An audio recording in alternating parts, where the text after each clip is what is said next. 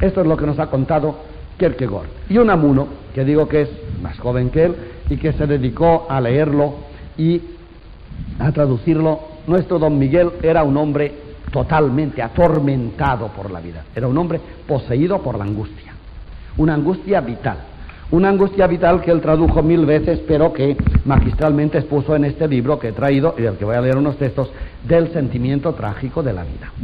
Lo cual ya está, ya está bien como título del libro. ¿eh? O sea que la vida provoca un sentimiento que es trágico. He aquí una visión de la vida. Una visión de la vida que en tiempos de Unamuno, que murió como ven al principio de nuestra guerra civil, tiempo de Unamuno fue mal interpretado, incluso fue marginado por sus ideas religiosas, pero que hoy otra vez eh, emerge, eh, dada la crisis de nuestro mundo, con casi casi con, un sermón de cuaresma también. El que era un cura laico, como decía él mismo, y vestía casi de cura, pues, eh, bueno, vestía más de cura que ciertos curas de hoy. Esto pues don Miguel, eh, que estaba azotado por el tormento de la angustia vital, que era un hombre mm, atormentado en todas las fibras de su vida y en todas las venas de su sangre, recogió de Kierkegaard esta manera de decir y de ver las cosas de la vida que, repito, no es la canonización del dolor, sino todo lo contrario. El dolor no se puede canonizar. No es cristiano canonizar el dolor. El dolor es una oportunidad providencial, digamos, puesta por Dios, para que tú vayas logrando tu altura cada vez mayor hasta que llegues a desembocar en él. Bueno, pues un amuno que por la razón no supo convencerse jamás de la verdad de la religión, por el sentimiento se acercó a estas inmensas verdades.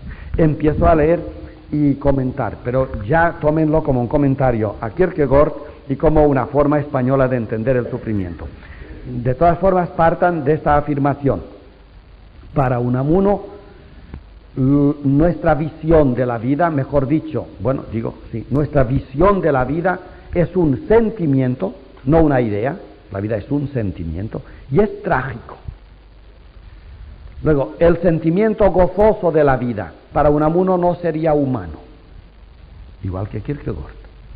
Lo que nos hace asomarnos y descubrir las entrañas del misterio de la vida es lo trágico de la vida. Es decir, cada vez que en tu vida acaece una tragedia, se te abre una ventana sobre el misterio de la vida. Rechazas la tragedia, la quieres ignorar, cierras la ventana, jamás conocerás las profundidades de la vida. Empiezo con Unamuno. Esta es, este es el principio del capítulo tercero de Unamuno que se titula El hambre de inmortalidad. Que ya está bien. Inmortalidad, sí, pero la sentimos nosotros como un hambre, tragedia. Es que no se equivocaba el pillo. ¿eh? Yo creo que además no debía pensar mucho sus títulos porque le nacían. Se echaba mano de dentro y sacaba el título. Es lo que toca. Como el hombre lo vivía así. O sea, así como la vida. ¿La vida qué es? Un sentimiento trágico. ¿Y qué es la inmortalidad? Un hambre. Lo cual no está nada mal dicho. ¿eh? La inmortalidad es un hambre. Cuando la tengamos ya veremos eh, lo que suceda. Pero ahora lo que tenemos es hambre de inmortalidad. Por eso nos duele la muerte, porque tenemos hambre de inmortalidad. Con lo cual, una muralla, esto no lo dice lo digo yo, pero es que nos ha empujado al abismo, al abismo, a la fronterita. A ver, ¿qué acaba de decir Unamuno? Que la inmortalidad es un hambre. Es decir, que no sabemos nada de la inmortalidad, pero que la padecemos como hambre. Es decir, la inmortalidad, si la logramos, será gracias al hambre, tragedia, que de ella hemos padecido.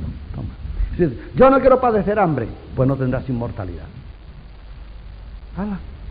Mira, mira lo que sale de un título de un amuno.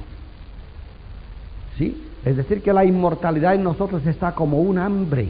Es decir, aquellos que no tengan hambre de inmortalidad no la van a lograr. No, se lo decía el Antiguo Testamento. No, no la van a lograr. Verán por dónde van, esto ya no lo sabemos demasiado, pero no la van a lograr. Los que van a lograr la inmortalidad son los que sufren hambre de ella. ¿Eh? Alguien lo dijo ya. Bienaventurados los que padecen hambre, porque ellos serán saciados. ¿Tú quieres saciedad? Pues en esta vida la saciedad se llama hambre. La inmortalidad se llama hambre. Y empieza así un amor. El universo visible, eso él no lo sabía demasiado, porque hemos corrido mucho en antropología, pero es bueno empezar por ahí. ¿Y ustedes saben por qué? Los desafíos del hombre le vienen de la circunstancia, ¿verdad? ¿Se acuerdan de Ortega? El hombre se hace con la circunstancia. Y un amuno, que era compañero y a veces enemigo de Ortega, empieza con esta palabra, el universo visible, die Umwelt, la circunstancia que nos envuelve, es que es hijo del instinto de conversación, ese, el universo visible, y me viene estrecho. ¿Cómo se dice esto en, en danés? Estrechez, angustia. El universo visible ante mí se estrecha, me viene estrecho. Es decir, yo me coloco en el universo, es como en la silla del avión, el otro dice, no, no, no te toca hasta aquí. El universo nos viene estrecho. Fíjate qué afirmación. Entonces, el universo entero, cuando yo me coloco en él, me viene estrecho. Me angustia, ¿ves? El angor me aprieta. Visión perfecta. Y ya ha empezado el dolor. Oye, pero no podría yo, Señor, estar ancho en la butaca del avión y el Señor de al lado dice, haber pagado primera. Eso. Y como en la vida nadie paga primera, estamos en el avión estrechos. Fíjense que entrada en el universo. El universo que me rodea, sea lo que sea, me viene estrecho. Es que esto es un clásico. Y el mundo está lleno de gente que en el universo se mueve ansísimamente, claro, los piojos y compañía. Es que es terrible un amuno cuando lo piensa y dice, ¿qué cosas está diciendo? Seguramente más allá de lo que él mismo pensaba.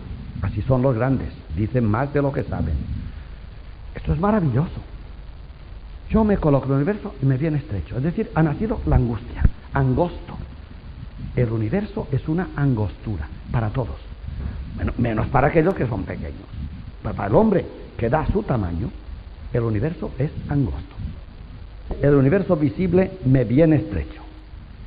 Esme, lo cual está muy bien. El universo me es, esme. Como una jaula, qué bien, qué bien y lo que vendrá ahora.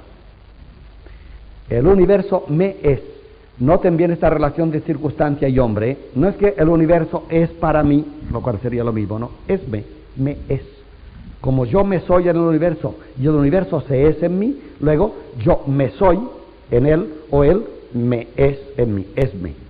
Esme. Una palabra para meditar. El universo esme estrecho, como una jaula que me resulta chica. ¿Se puede definir mejor el hombre?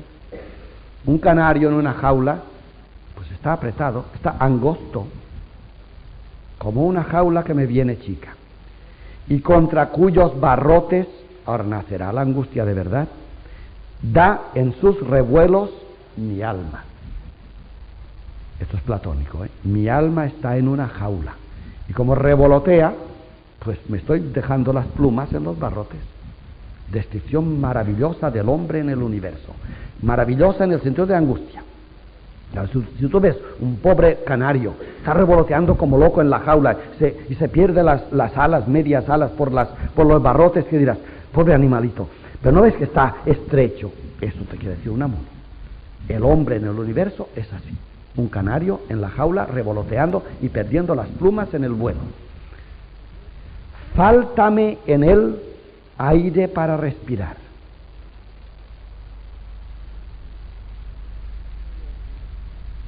Esto se lee y uno dice, Tate, ya tengo mi epitafio. ¿Sí? Es magnífico, lo que lo voy a tocar un poco. Estoy estrecho en la jaula y dice un amuno, fáltame aire para respirar.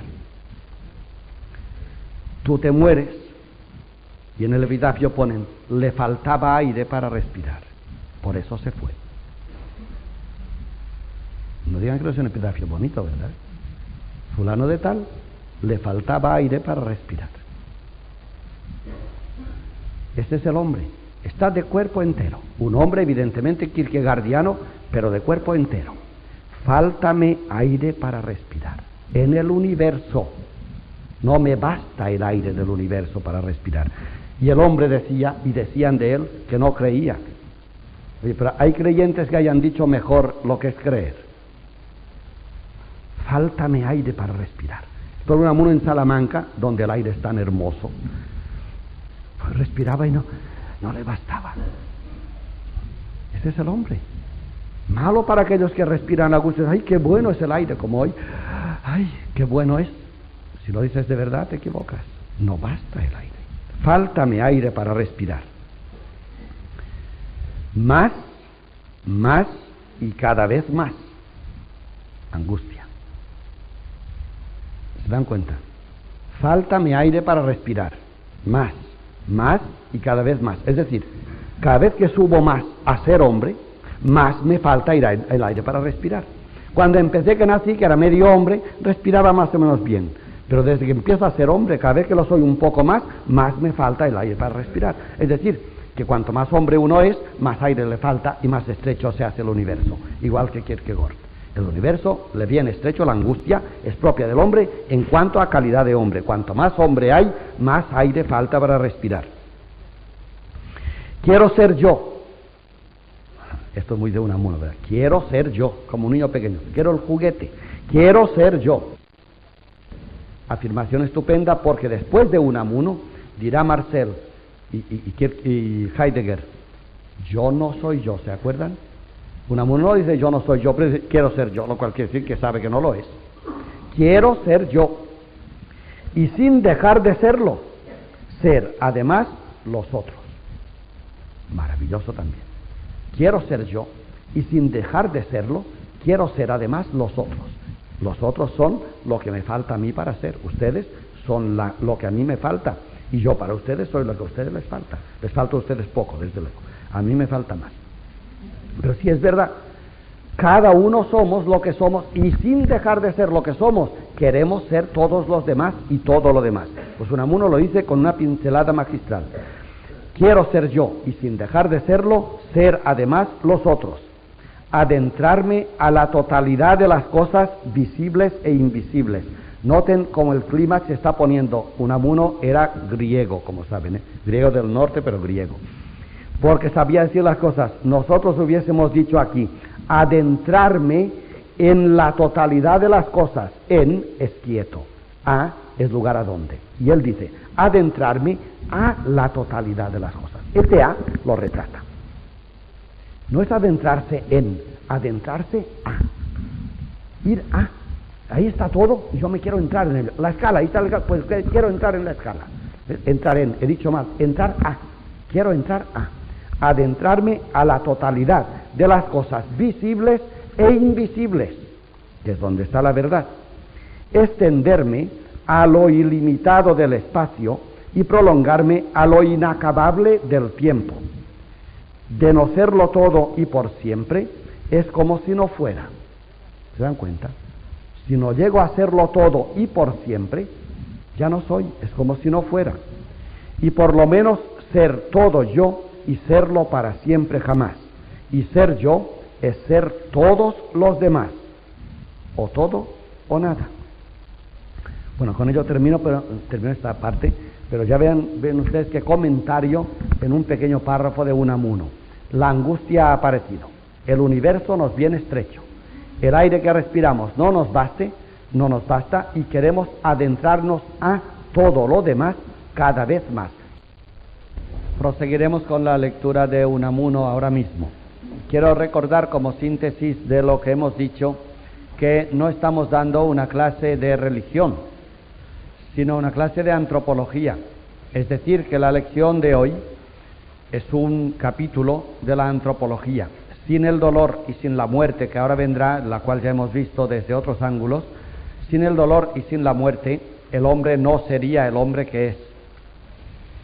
Por tanto, el dolor y la muerte forman un capítulo importantísimo de la antropología. No se puede conocer ni estimar al hombre en su verdadero ser sin profundizar en el misterio, por decirlo así, en el mar inmenso del dolor y de la muerte.